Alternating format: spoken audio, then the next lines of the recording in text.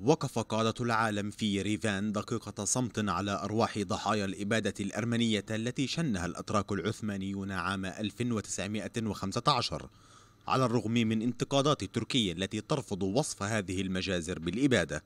وعبر الرئيس الأرمني سيرج سيركسيان عن شكره للقادة الحاضرين وبينهم الرئيسان الفرنسي والروسي فرانسوا أولاند وفلاديمير بوتين اللذان وضعا أكاليل الورود على نصب الضحايا في تلال يريفان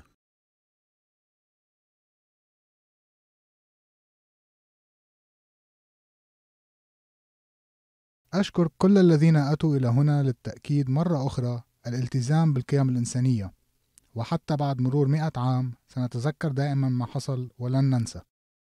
من جانبه يرفض الرئيس التركي وصف المجازر بالإبادة. مشيرا إلى أنهم قضوا نتيجة الجوع في المعارك التي ساندوا فيها روسيا.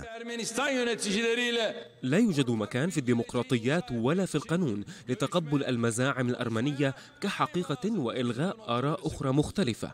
اليوم لا توجد لدينا أي مشاكل مع الجمهور الأرمني تماما مثل يوم أمس. مشكلتنا مع الحركة الأرمينية التي تريد استخدام هذه القضية لتحقيق مكاسب سياسية.